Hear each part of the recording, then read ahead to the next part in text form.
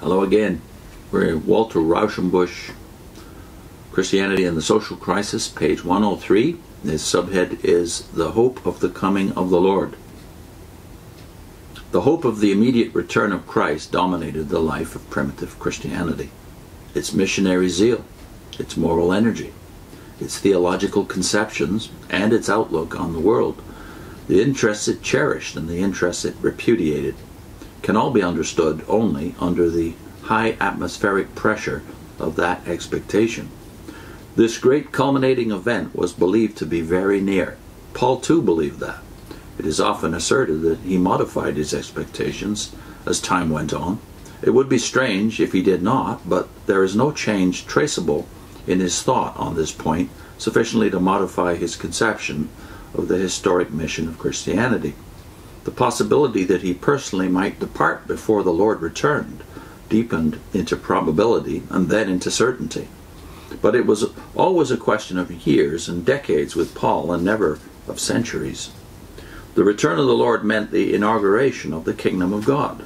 What the prophets had foretold, what the people had longed for, and what John the Baptist had proclaimed as close at hand would come to pass when Jesus returned from heaven to reign. He had not achieved his real mission during his earthly life. The opposition of the rulers had frustrated that. It had been God's will. But he was still the Messiah of Israel. The national salvation was bound to come. The kingdom would yet be restored to Israel. In a very short time, he would descend from heaven, and then all their hopes would be fulfilled in one glorious and divine act of consummation. Their preaching was with a view to that event. They sought to do for his second coming what John the Baptist had sought to do for his first coming to proclaim repentance to the people and to gather a holy remnant. The Christian hope of the parousia was the Jewish hope of the Messianic kingdom, except that the person of the Messiah had gained wonderfully in concreteness and attractiveness and the hope had become far more vivid and intense. The coming Messiah was the Master whom they knew and loved. He had ascended on high to receive the kingdom from his Father, and soon they would see him again, perhaps tomorrow or the day after. Ideas could well differ as to what the kingdom implied and the return of Christ would usher in. Some would place the emphasis on the spiritual blessings, others on the social justice and emancipation, that would be involved in the perfect reign of God. It was an ideal, and a very capacious and elastic ideal. The early Christians were no more unanimous about their eschatology than the Jews had been, and than we are today. Paul expected an immediate spiritualization of the entire cosmos. The dead would be raised in a spiritual body, the living would be transformed into the same kind of body, for flesh and blood and the nature of things could not share in that spiritual kingdom. Death would cease, nature would be glorified, and the long travail of all creation would end when the children of God would be manifested in their glory.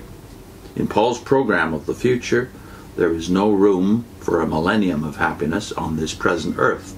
Only the dogmatic theory that all scripture writers must hold the same view can wedge the millennium into Paul's scheme of the coming events. His outlook is almost devoid of social elements.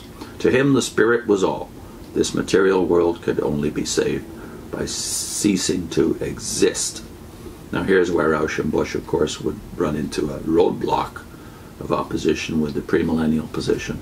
Rauschenbusch, being a Baptist, yeah, that was the majority view of moderate Baptists and liberal leaning Baptists in that day and probably still is among the liberal in the liberal churches but the conservative churches are more and more committed to the old position which is there is a way to wedge the millennium an earthly millennium between the second coming and and the final consummation which is new heavens and new earth.